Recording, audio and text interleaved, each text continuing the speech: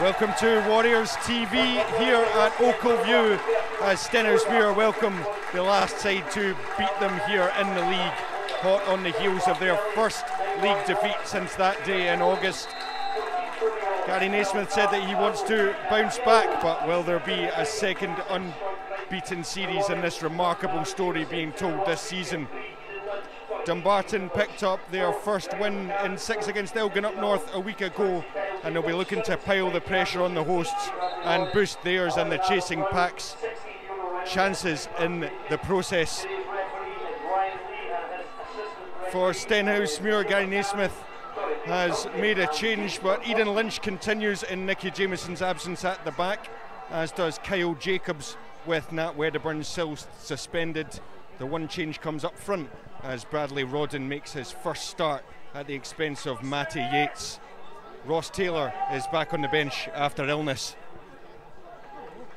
For Stevie Farrell and Dumbarton, it's also one change to the starting 11 that won up at Elgin 1 0 a week ago. As Calvin Orsi has failed a fitness test and is on the bench as a result. And Mark Kelly comes in to make his full debut.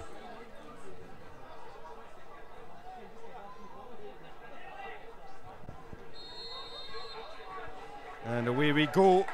Referee today, Ryan Lee, gets things underway.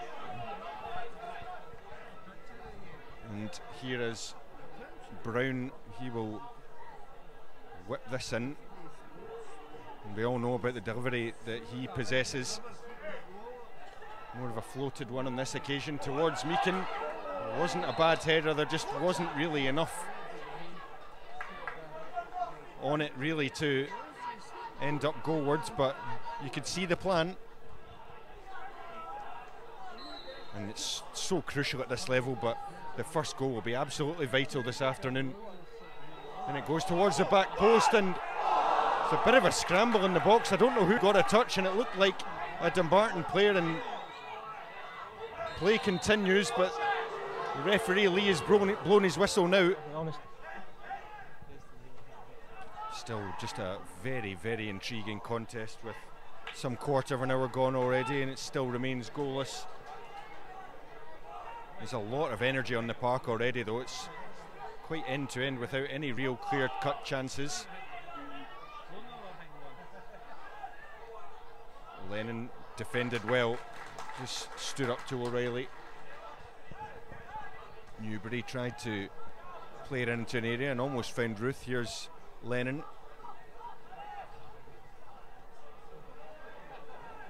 Be a lot of eyes on the young defender, of course.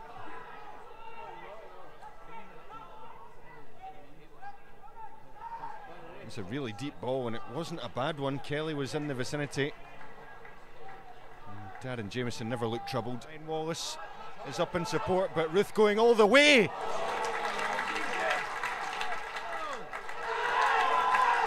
The save from Jamieson, and then some shouts for a penalty on Lennon, but a bit of congestion around the penalty spot onto the head of Lynch. Could not direct it goalwards. How many more opportunities are Dumbarton going to give Adam Brown to find the correct ball?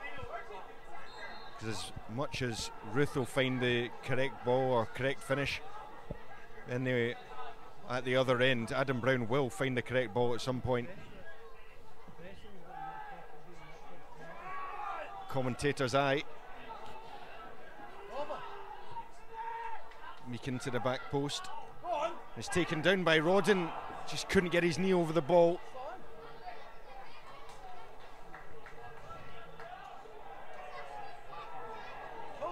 Wallace just shrugs Jacobs off.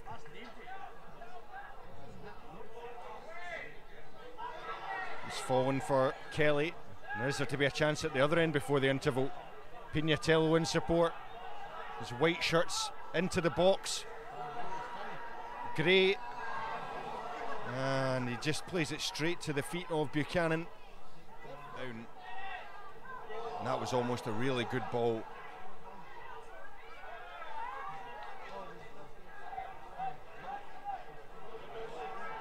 Reflective flick on for Ruth, who slipped it through for Ryan Wallace. Just ran out of space, had to move it onto his right foot. And Dumbarton with yet another corner in this second half.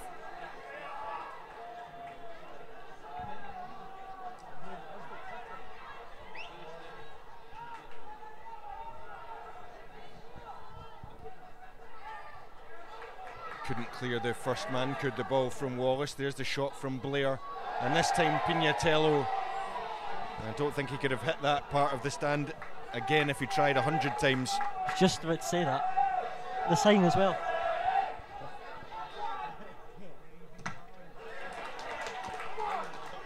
And this is the first we'll see of it. Anderson will keep that in. Lennon's out of position.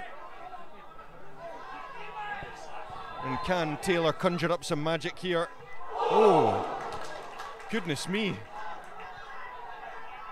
Forced the goalkeeper into a very unorthodox save. Game just being played at 100 miles an hour at the moment.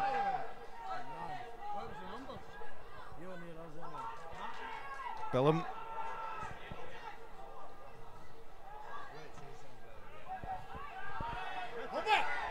And Anderson takes it down and hits the bar. What an effort from Mikey Anderson. And he's so unlucky.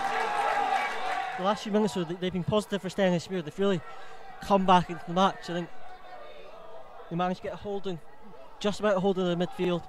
And with the two additions with Matt Yates and Ross Taylor, I think they'll really just come into the game really quickly even to take the ball down in this weather is amazing. But here's Anderson again, and it's just wide. And there'll be some real frustration from Dumbarton. That really looked like it could have been a foul in the build up. Stenhousemuir just pressing a little higher. And that's exactly the payoff. Here's Taylor. That's a cynical challenge from Creighton. And he gets a booking. It's one of those fouls that it's a great foul to make and it's just so clear a booking but it's one of the fouls when it's your team that commits them you it's, Ross Taylor is driving forward and it's just a foul that has to be made Adam Brown did it in the first half and just it's, it's smart defending actually that's it's really smart defending yeah, good booking to take from a Dumbarton perspective. Rost. And he tries to go for the near post. And it's down to Taylor. Into the back of the net. We said they'd made an impact. Boy, have they made an impact. It's, it's a smart piece of play. Matt Yates and Ross Taylor both know what's happening. Ross Taylor knows Matt Yates is going for the shot and that Hogarth might, have, might parry it. He's alert and a great play.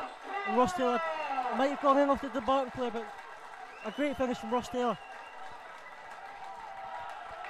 The one thing I'm looking at there from the Sons' point of view is the wall. Now that's the wall side because of where it's lined up. So to get the ball bent round that suggests to me either somebody's tucked themselves in too much or the wall's maybe a yard or so out of position from where it should be. Because if that's on the wall side, it's given Jay Hogarth a lot to do to come across, cover it. And that goal from Ross Taylor 265th Stenhousemuir goal in all competitions against Dumbarton. In the 165th meeting between the two, and Ryan Blair could be in trouble here. And he's going to go as Ryan Blair for the foul on Anderson, and the former Warrior walks.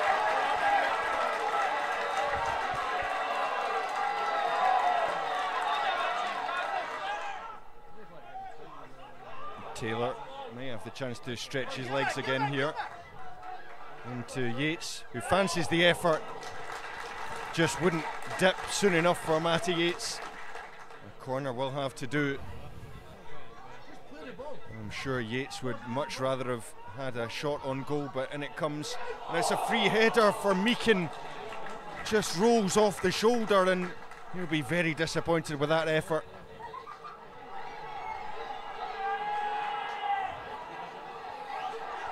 And Hogarth's up.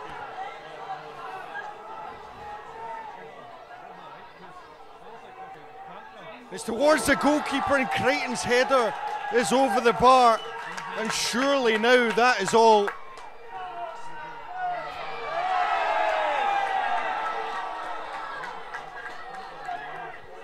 As Calvin Orsi has to wrestle the ball from the ball boy. Again, Dan Jamieson's very fortunate there. He comes, he, he gambles, he comes to get it, he doesn't get it, and Crichton gets his header away. And if it's on target, it's in, the back of the net. And, and it's another three points for Stenhousemuir this afternoon against Dumbarton. It was a real struggle at times. Dumbarton, probably the better team in the first half. But Stenhousemuir made the breakthrough through Ross Taylor. And after defeat against Peterhead, the Warriors are back to winning ways. And it's another three points that could lead them to exactly where they want to be at the end of the season. But it's finished here at Ochilview. It's Stenhousemuir 1, it's Dumbarton nil.